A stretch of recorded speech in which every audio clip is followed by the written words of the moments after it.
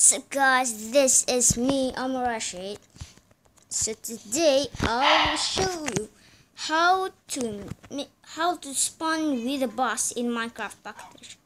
So okay, so I'm in so now I'm in the nether, so what we need to take is to take the soul sand and this wither skeleton skull. You cannot use skele- uh, skeleton skull because it will be not happening and put it like this and boom oh not here sorry.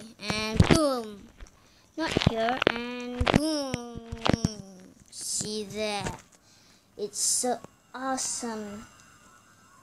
See that? It will be exploding on one two three. Now is see that? It's so awesome. It is exploding. Whoa. I want to take care about him. So now you know how to spawn with wither boss in Minecraft Pocket Edition.